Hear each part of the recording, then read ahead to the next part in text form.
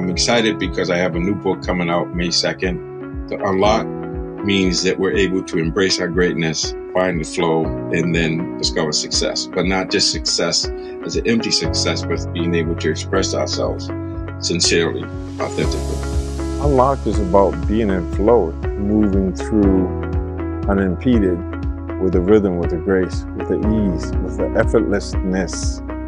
The book talks about the process of how can you be unlocked, how can you remove all the noise and clutter so that there's space for you to create. I have to ask questions like, who am I and why am I here? I am a divine spark and I'm encrusted in the shell and my job is to break out of that. So I have to chip away to get to it, much like a caterpillar has to metamorphosize into being a butterfly by breaking out of the chrysalis. Then you're the only one that can do it. It's an inside job.